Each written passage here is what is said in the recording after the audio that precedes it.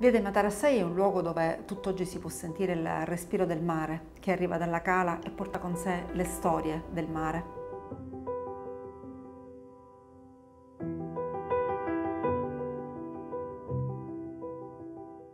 Via dei Matarassai è dove, dove, è iniziata la storia dei Florio, è una strada molto piccola, uh, tutt'oggi conserva le caratteristiche tipiche del centro storico di Palermo, quindi strade strette, molto tortuose, in cui i palazzi sono quasi appoggiati l'uno agli altri.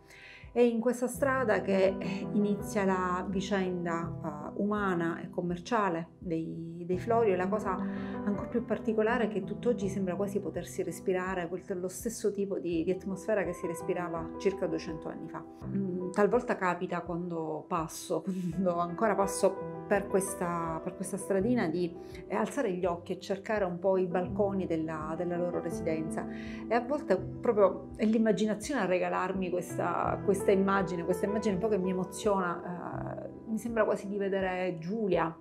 uh, Giulia Portalupi oppure ancora Giovanna Dondes che magari sono lì sui loro balconi o che sono affacciate alle finestre. Ed è un'emozione molto strana perché sembra quasi che il passato e il presente si sovrappongano. Però nel libro, appunto nell'inverno dei leoni, io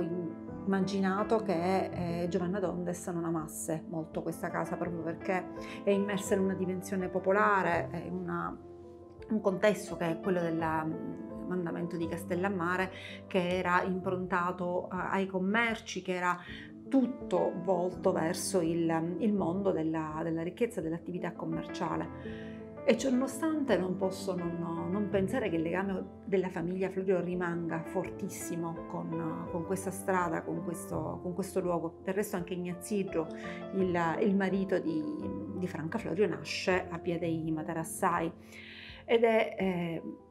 per me è importante sentire, vivere quei luoghi e, e sentire quelle emozioni proprio per, perché in questo modo davvero si possono riportare all'interno della, della storia, all'interno della carta stampata ed è secondo me la chiave attraverso cui eh, una storia non diventa semplicemente parole ma diventa una vicenda di vita.